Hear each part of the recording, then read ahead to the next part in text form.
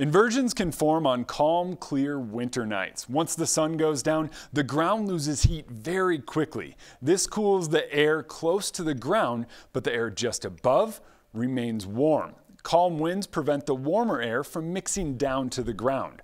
Clear skies and long nights increase the amount of cooling, and mountains can actually enhance the formation of inversions, especially in valleys. On a regular day, an inversion would weaken or disappear. However, with high pressure in the region, inversions can last for several days.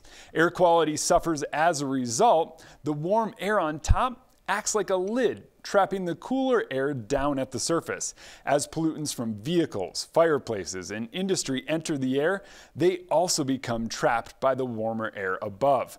The biggest culprit is actually residential wood burning. Wood smoke contains much higher amounts of pollution than smoke from oil or gas-fired fireplaces. And we do have that inversion in the atmosphere. It's in the northwest, and we have high pressure in place. So with the inversions, we are looking at poor air quality quality for the next couple days. Washington, that lasts until Monday. Down into Oregon, this will be through Tuesday as that air just isn't going to mix after those cold overnights.